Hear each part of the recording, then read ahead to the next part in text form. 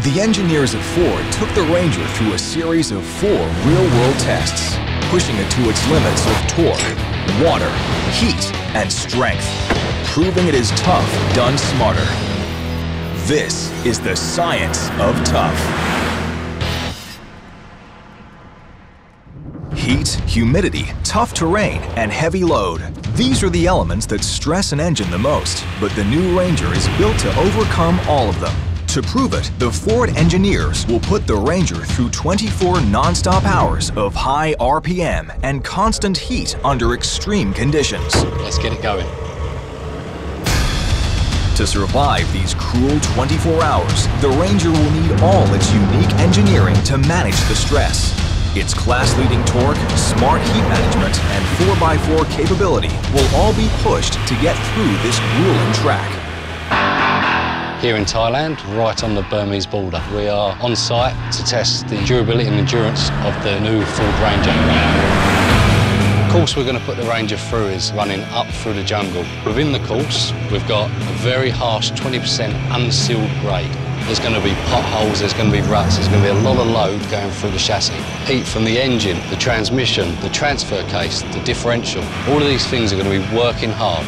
We'll be pumping 40 degrees C this afternoon probably 70 to 90% humidity. Strategic pit stops occur to change drivers and stiffen up the challenge. Every four hours, we're going to progressively add weight until we get our best-in-class gross combined mass of six tonne. The load was added right when the temperature and humidity were reaching their peak for the day. That's when the Ranger's unique cooling system kicks in to overcome the harsh environment. We've been monitoring the top tank temperature, which is the coolant that cools the engine down. Smart technology we're using there. The Ranger's front-end geometry ensures enough airflow to meet the desired temperature. We've now raised the centre of gravity. We're actually going to get a big swinging motion as we take the bends throughout this winding course as we go through the jungle.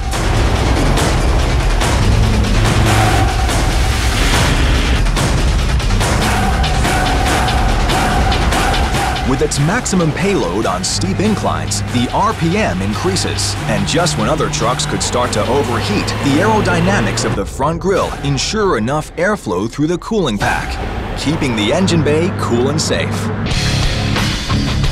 We've just gone 536 kilometres. Now we're just about to do our first run with a trailer. 1.5 tonne has just been put onto the back of this Ranger. Now that the sun has set, the temperature drops, but the engineers don't want the nighttime conditions to be easier. Time to add more weight to the truck and take the engine stress higher.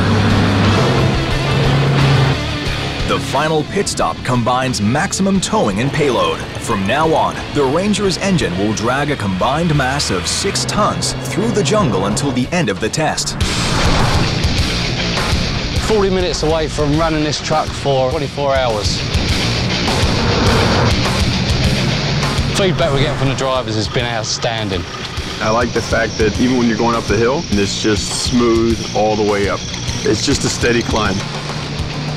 The Ranger proves that it's not only tough enough to drive its class-leading towing and payload at the same time, it's also smartly built to do it without overstressing the engine. Our engineers built a truck ready to perform its best on any kind of work site. Just under 940 kilometres can hear the Ranger there, still running. So it just shows that this truck in a real world environment is very, very capable, very, very tough. And pulling around six ton, it's very, very durable. It's just tough done smarter.